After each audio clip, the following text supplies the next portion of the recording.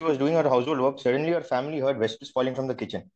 They rushed to find uh, she was on the lying on the floor, had a prolling of eyes, posturing of upper and lower, uh, lower limbs, clenching of the teeth with drooling of saliva, following which she had altered sensorium. There is no history of uh, fever, past seizure episodes, substance abuse, or focal deficits. On examination, she was drowsy. Pulse rate was 102 beats per minute. Uh, blood pressure was 140 by 80. Respiratory rate 19 breaths per minute. Saturation 98% on room air. She was afebrile. Uh, she, uh, she was pale.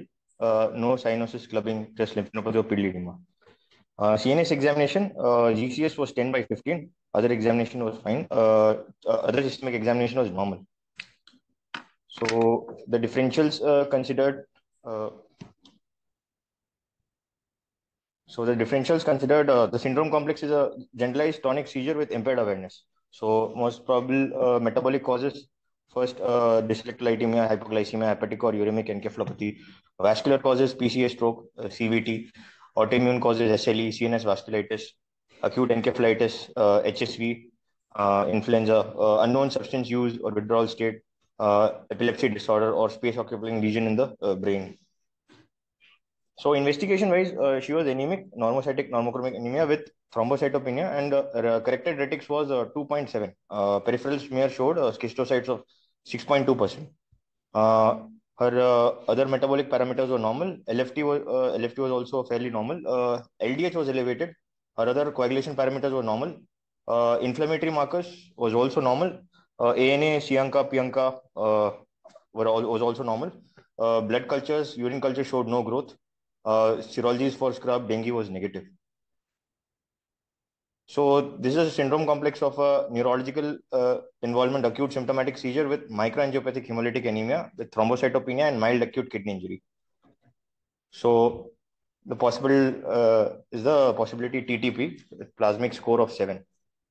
On further investigation, uh, we we ruled out other causes of acquired uh, CT neck thorax abdomen showed no evidence of any malignancy. There was a uh, few hypodense lesions, but ultrasound showed out to be uh, le less evident. Uh, MRI brain had uh, acute infarction in left cerebral hemisphere. Uh, levels uh, was less than 0.2% with inhibitors of more than two inhibitor units.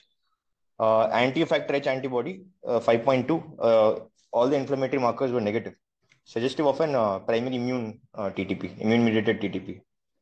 So I'll be talking about TTP. So it's an acute episode which is defined by clinical criteria which is multivisceral uh, ischemic symptoms, biological criteria, which is um, uh, microangiopathic hemolytic anemia, and the presence of severe deficiency of ADAMTS13.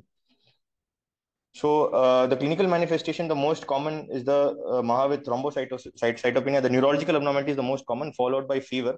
Uh, renal is very rare, and uh, pentad is uh, uh, almost 7% only. the most common, as you can see in the pie chart, is primary immune mediated acquired is uh, comes next. So these are the registries comparing uh, the different factors. So most of the had a uh, less than 10% of ADAMTS and uh, most of them were primary immune mediated. And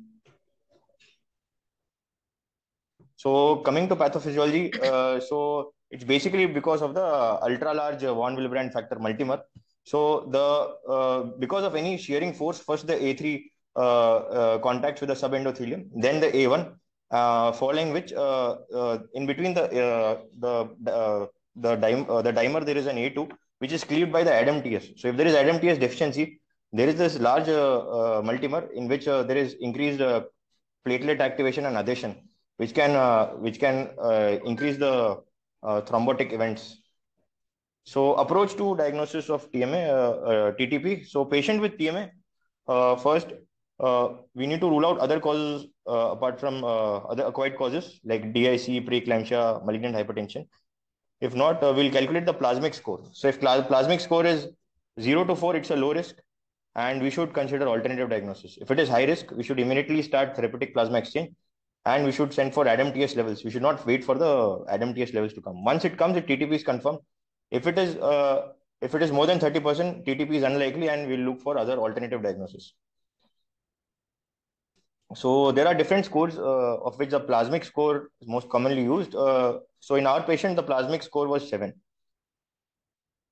So the treatment of uh, TTP includes uh, the first and foremost therapeutic plasma exchange. Steroids, however, has very low efficacy, uh, followed by rituximab. Uh, so the thing is, FFPs are used so that they have ADAMTS, ADAMTS proteins. So there will be already if the plasma is deficient of ADAMTS, we can replace those. however, plasma exchange or with SD plasma SD plasma can be used or solvent detergent plasma is preferred. Uh, until when uh, do you give plasmapheresis, uh, uh, plex? So one is uh, until organ involvement has resolved, uh, platelet count normalized for two consecutive days, and LDH is normalized. We don't wait for the schistocytes to disappear. however, there is no evidence for steroid. It is their role is only in autoimmune TTP, and rituximab is used in case where there is a relapse of uh, TTP in spite of giving uh, steroids and uh, plasma uh, uh, therapeutic plasma transfusion. So frontline therapy is uh, therapeutic plasma followed by steroids, and we continue we follow it up with tapering dose of steroids. Um, and rituximab is used only when there is a relapse or there is failure of treatment.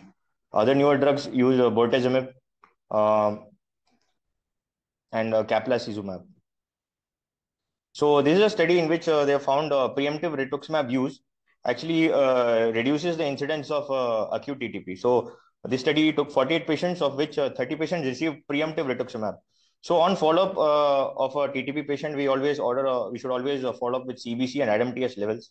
So if ADAMTS levels are low, however the counts are normal and patient is clinically stable, we should we should consider giving rituximab. So it has been found on preemptive uh, therapy of rituximab, there is a decreased uh, incidence of uh, relapse from 0.57 per, uh, episodes per year to zero episodes per year. So here we can see there is a improvement in CD4 counts and uh, improvement in ADAMTS levels. And there is improved survival with preemptive rituximab. Even though patient is clinically uh, stable, we should always look for ADAMTS levels uh, to uh, consider rituximab therapy.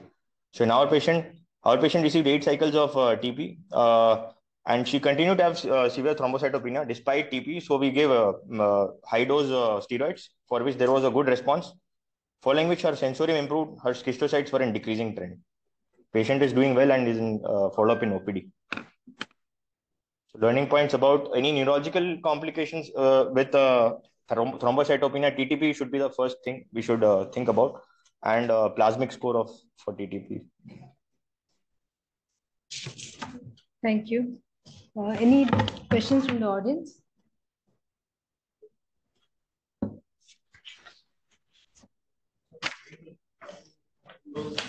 Nine thousand. So in between, we were giving FFPs till the ADAMTS levels came. TP also we started immediately. So nine thousand is the stroke in the MRI you consider TTP. Yeah. we don't have any yeah. And peripheral smear also that time showed schistocytes uh, 6.2%. What you did was you had anemia, thrombocytopenia, hemolysis happening at the same time with schistocytes. Now this plasma score, what's the use of plasma score? So we can uh, to make sure like uh, uh, to approach for the treatment if it is low plasmic score, it's a low possibility. If there is high plasmic score, we should immediately start a uh, plasma exchange. should not how sure you can be to offer a plasma exchange for this patient because generally this RNK certain level takes long time to come back. Generally, yes. what I remember is three days at least. Isn't it?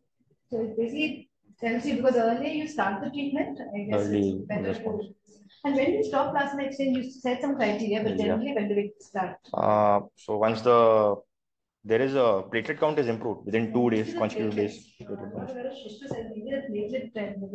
And uh, ADAMTS levels also can.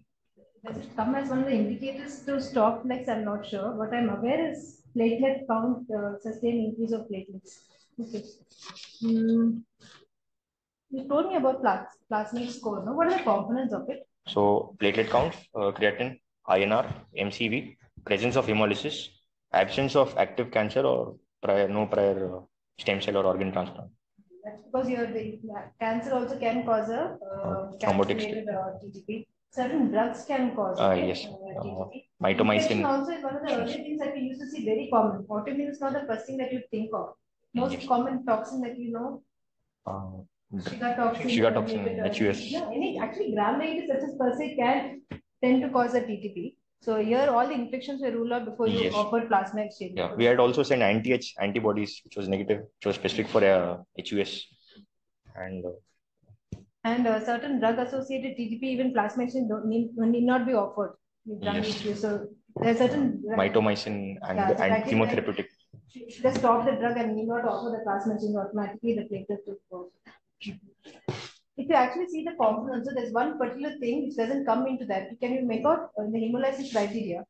Ethics and uh, Schistocytes actually doesn't come yes, in your uh, plasmic score yes, because that is one of the reasons why you are doing the plasmic score. So apart from schistocytes, mo- almost of the criteria are for hemolysis is there. Anything else? Will you give rituximab in our Indian scenario generally? Oh, Then do we give like usually steroid pulse Steroid for the plasma exchange and one indication is uh, relapse. If we give, you we will can. follow the patient, patient. preemptive rituximab because the risk of in our country, especially with the TB ongoing and all, I think it will be, we'll be a little more cautious to give rituximab. But uh, in medicine, how are, are we giving? Huh? Labs only, no? Yeah. It's good to know that there is other drugs that you can give along with the plasma exchange. Okay, shall we proceed? patient on oral steroids? So Yes, on oral steroids. How, only following up? So following up, we'll follow up with uh, every two weeks. We'll follow up. Uh,